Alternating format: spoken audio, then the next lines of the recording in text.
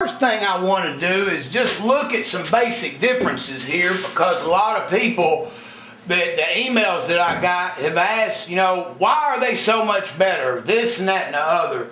First, you have to know what you got. This is the best way to do the comparison. This is a set of Pro Comp heads, stage four, that I'm almost through porting. Matter of fact, these are the Pro Comp 190s for, for the Denmark guy uh, with a 1206 Fel-Pro. This is the old school. This is the LS3, unported, untouched. Okay? Number one, the most obvious difference, look how the ports are spread apart. Basically, Chevrolet a few years ago finally gave in and said, you know what, Ford had the better idea. Ford did have the better design. By spreading the ports apart, it got rid of a lot of problems, got bolt holes out of the way. Mainly what it did on the exhaust side was get rid of a heat problem by the two ports being close together.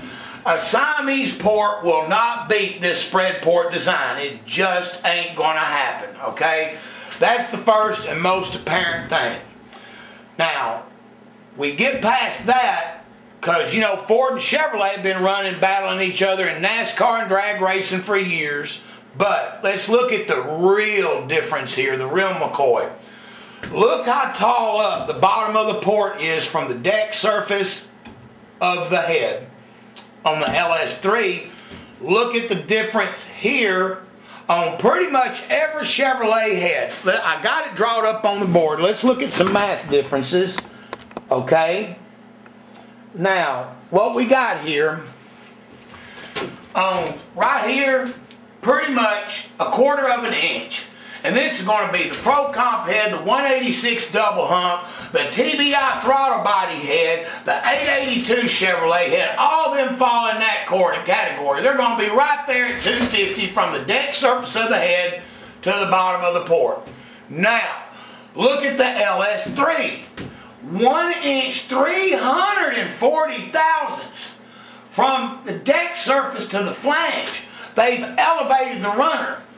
Funny coincidence, guess what the 18 degree Chevrolet had back in the uh, early to mid 90s, and then what was called back then the SB1 and SB2. All of them had elevation heights right around an inch and a half, inch 400. So they borrowed race technology, they brought it up. Now, bringing it up changes the angle. We'll get into all that another time. But look at this major difference between the two. That's just going to make it that much easier for the air and fuel to turn to go into the bore. Now let's look at something else. Look at the width. With me porting the Denmark guys' heads or the Pro Comps, moving it as much as I can with a sonic checker, I end up with a width of an inch and 50 thousandths. Hell, fire right out of the box.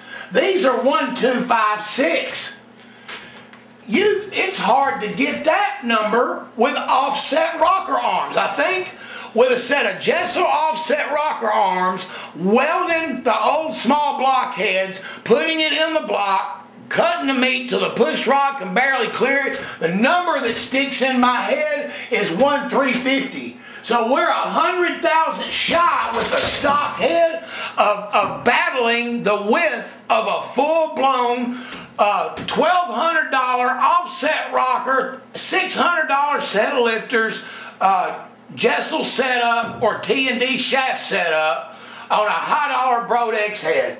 So it's not hard to see the comparisons right here. Now, when we got this major width advantage, a major height advantage, yeah, it begs the question, why would you even fool with this stuff anymore? Really?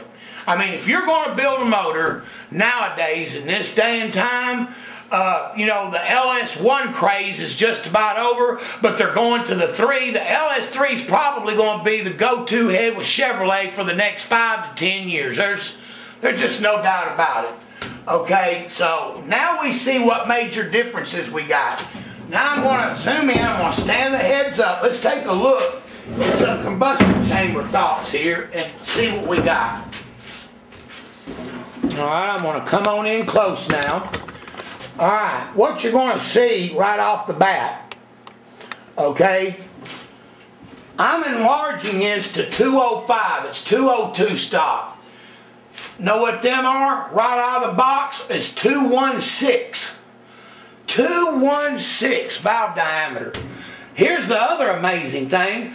They've done this, okay, with a 4 inch, I believe, 6, 4060 or a 60 over 350 block.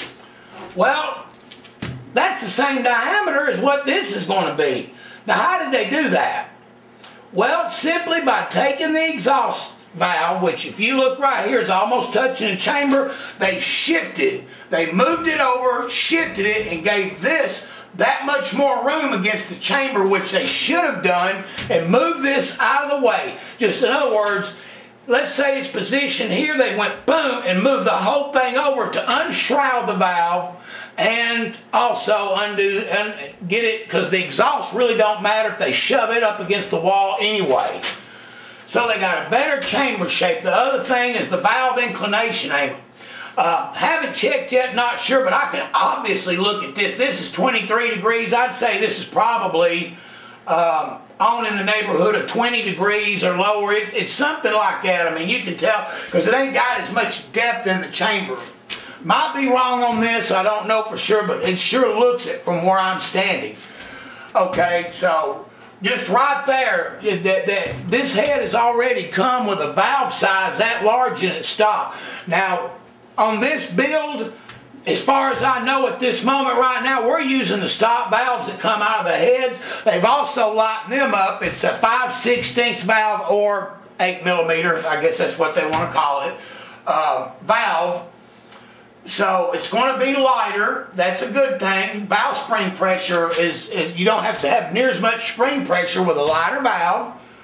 So, uh, but 216 valve diameter, I think that there's several companies making a 218 valve. I've tried to get one through one company. They're sold out of them right now. I might, I might try. I know I won't enlarge the exhaust, but the intake side, I might try to grab a little bit. Not so much as for valve diameters, but to get me a little bit better radius here and a better kick.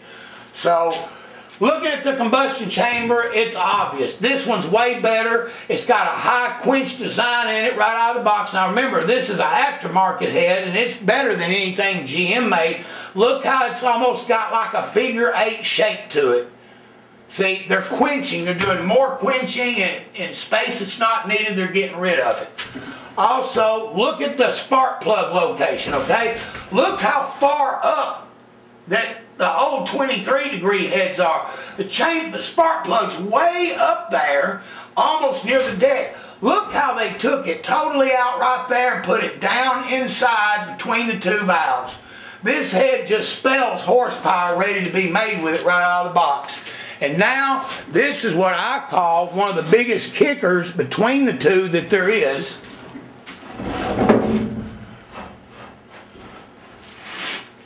That is absolutely awesome. Let's get on in there. I'll get these top two, try to get them in there good. All right. If you look at the height between here and here, it's deceiving. I can take my finger and I ain't even to barely the first joint in my knuckle and I've already touched the seat.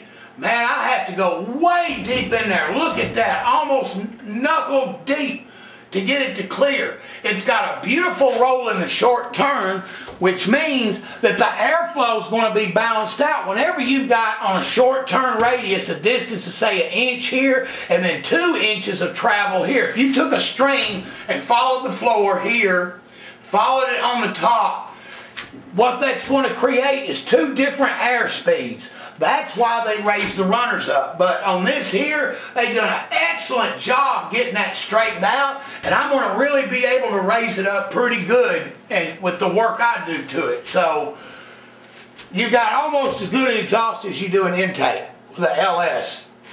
Now, that being said, I just wanted to, to give you some basics. I'm not really going to go much deeper than this because there is a lot of other things to it too. This is what you need to know what I've just told you. so that you understand why the LSs are taking over. It's just, they're, they're giving you such a better starting point.